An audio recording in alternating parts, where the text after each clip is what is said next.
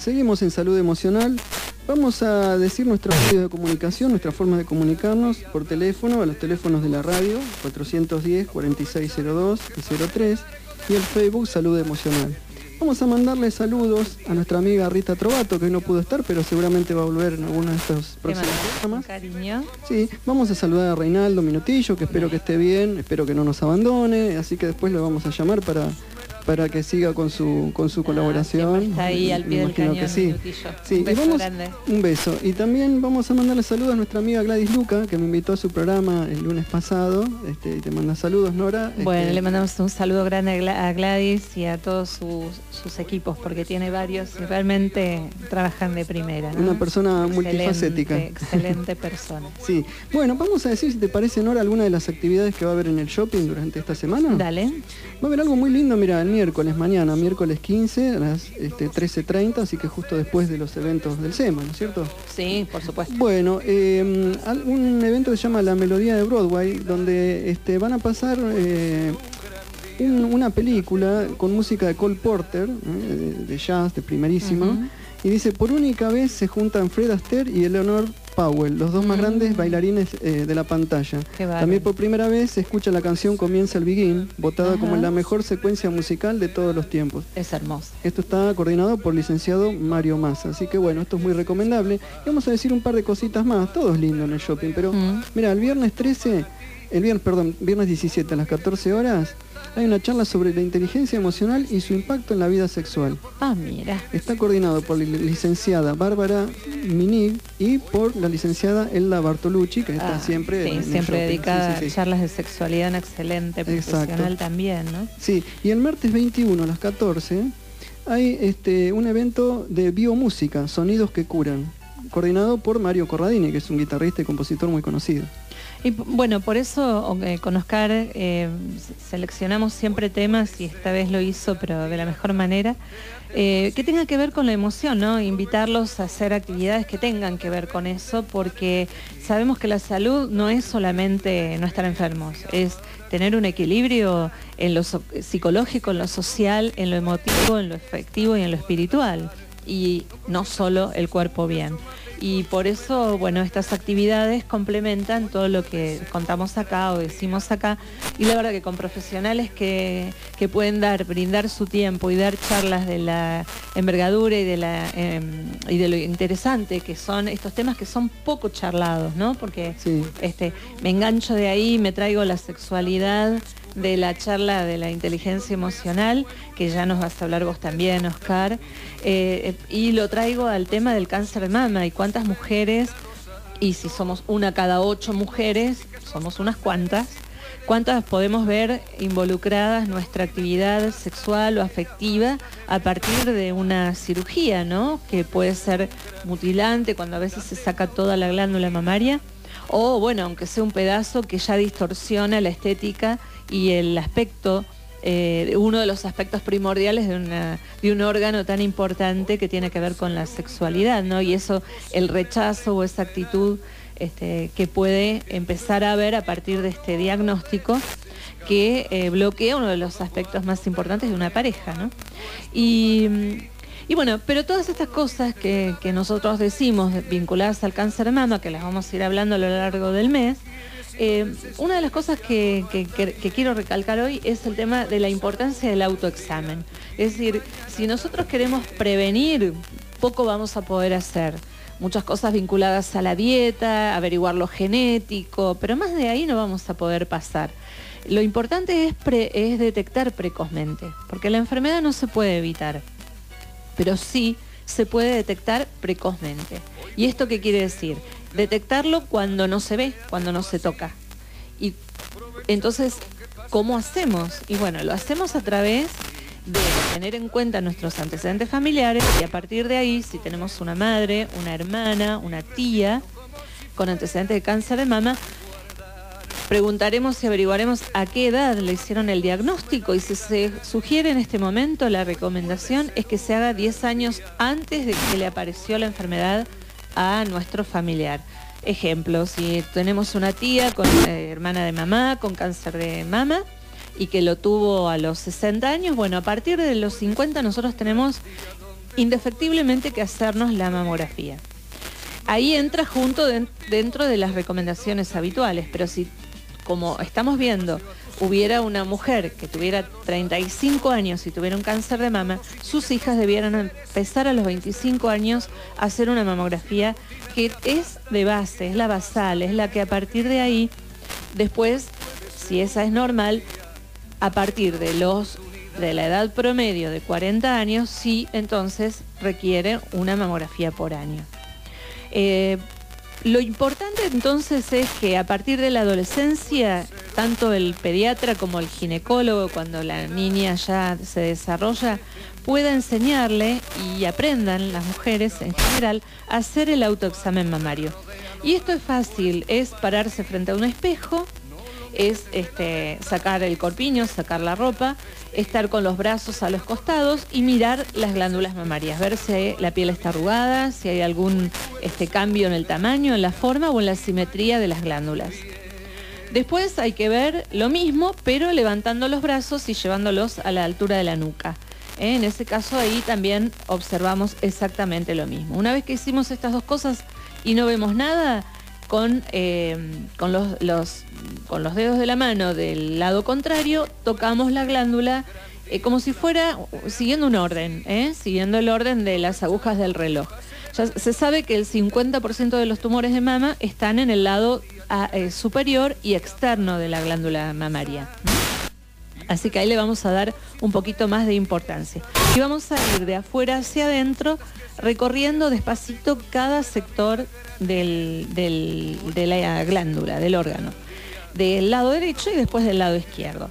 Después lo haremos a nivel de la axila también, buscando algún bulto, alguna dureza, algún engrosamiento de tejido que nos llame la atención.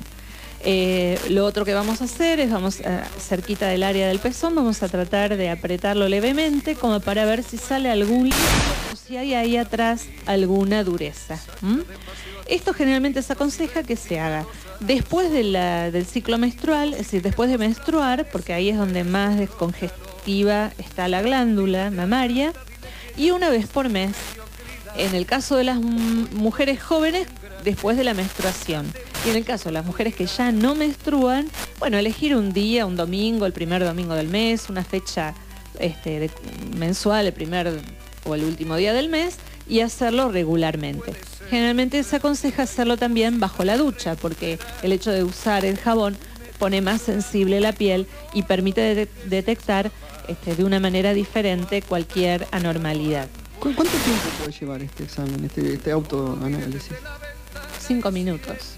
Si uno se acostumbra a hacerlo todos los meses, desde la adolescencia, el adulto joven, hasta siempre, eh, va a tener más sensibilidad del dedo para detectar cambios, ¿no?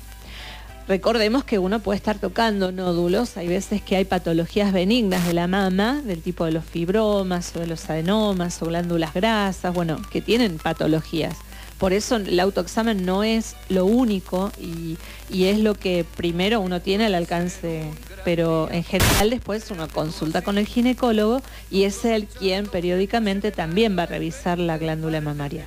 Con eso lo que logramos es que eh, podamos detectar, eh, bueno, tumores eh, que sean muy chiquititos.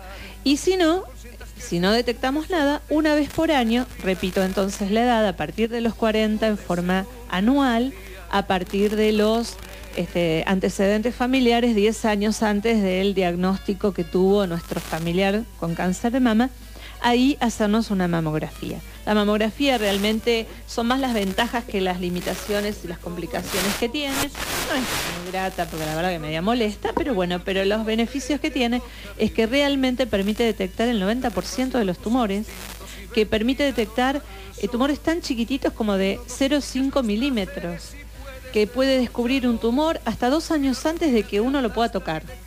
¿Eh? que uno con el autoexamen lo pueda percibir. fíjate vos que son dos años cruciales para el tratamiento.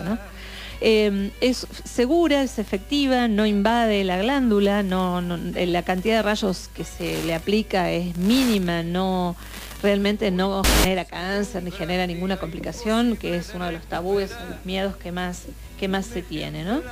Así que realmente es una recomendación el hacer el autoexamen, el control ginecológico eh, y fundamentalmente una mamografía por año a partir de los 40 años. Vos querías... Tengo una pregunta, Nora. Porque... Los hombres también. Eso me ibas a preguntar. Mira, te leí la mente. sí, porque, he visto justamente, con tanta información que hay en estos días, he visto sí. eso y me, me, llamó la atención. Sí, en general hay casos de cáncer masculino, el 1% se calcula, es una cifra muy baja, pero indudablemente que es eh, al hombre le llama más rápido la atención porque es la aparición de un bulto rápido en, la glándula mamaria y en general eh, no se hace controles y chequeos por lo bajo de la incidencia porque la tasa de curabilidad y de resolución del problema es muy rápida. Pero indudablemente eh, también sí después se controlan, ¿no? Después se hacen mamografías. Pero en general es más con el tacto y, la palpación. Pero alguna ecografía, la ecografía mamaria también es un procedimiento muy sencillo, muy simple, permite diferenciar si hay un quiste o hay un tumor sólido, o sea, si las células son células malignas, generalmente el tumor es eh, sólido, no produce líquido. Mientras que si es un quiste, eh, la ecografía lo permite distinguir rápidamente. ¿no? Así que eh, hay después otros procedimientos, pero indudablemente el diagnóstico es la biopsia, no hay otra forma. Eh, a veces se hace directamente la cirugía, otras veces se hace una punción, con eso se confirma y después el estudio de las características de las células y las características de los eh, receptores hormonales y, las características que tienen que ver con el tamaño, si hay ganglios, el tipo de células, el grado de diferenciación de las células em, y lo genético, el estudio genético, va determinando como factores de riesgo para que eh, se agreguen tratamientos combinados con quimioterapia terapia y radioterapia en función de esos factores, ¿no?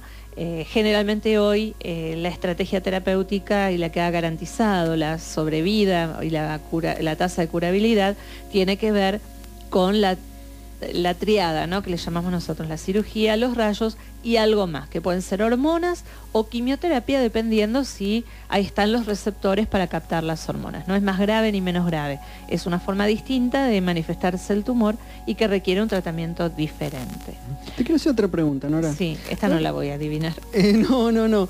Em, ¿Qué opinas vos? Porque hace poco hubo mucha difusión de este ese episodio de Angelina Jolie que por una cuestión de, predisposición genética se, se, operó los dos pechos. Sí. ¿Qué opinas vos de eso? Sí, mira, em, en general eh, los oncólogos no nos gusta opinar mucho en cuanto a eh, si está bien o no la decisión que tomó el médico porque, o que tomó ella, porque no sabemos los pormenores, los detalles, que esto que te digo yo, de cuántos factores de riesgo eh, tenía. Indudablemente hay una familia de genes, que se llaman BRAC, ¿no? BRC, que eh, cuando están presentes los riesgos y los factores de probabilidad de mayor incidencia de cáncer están este, y son altos. Eh, pero no que uno tenga la predisposición genética no quiere decir que va a tener el cáncer, lo que quiere decir es que tiene más probabilidad. Pero bueno, ahí hay que ver cuáles son las indicaciones para este tipo de mastectomías profilácticas, o sea, cirugías de las dos glándulas mamarias y a veces hasta de los ovarios, eh, por la por lo pesado de los antecedentes y esta, la presencia de este gen, eh, tienen que ver, pero son, eh, digamos, eh, situaciones muy especiales que tienen que ver con el momento justo y la, y la evaluación de todos los factores de la enfermedad que tuvo su familiar, de los factores de riesgo, de la edad de la paciente, de la capacidad eh, psicológica que tenga de, poder hacer frente a una situación como es la mastectomía bilateral profiláctica, que no es nada fácil. Y bueno, entonces eh, es muy difícil opinar eh, al respecto, ¿no? Hay una indicación precisa en algunas personas con riesgos altos, pero es esa que se le hizo a Angelina Jolie, pero ahora si la hicieron bien o no, eh, desconozco porque no conozco los antecedentes de, ella. ¿no? Eh, vamos a escuchar otra hermosa canción y vamos terminando nuestro programa de hoy.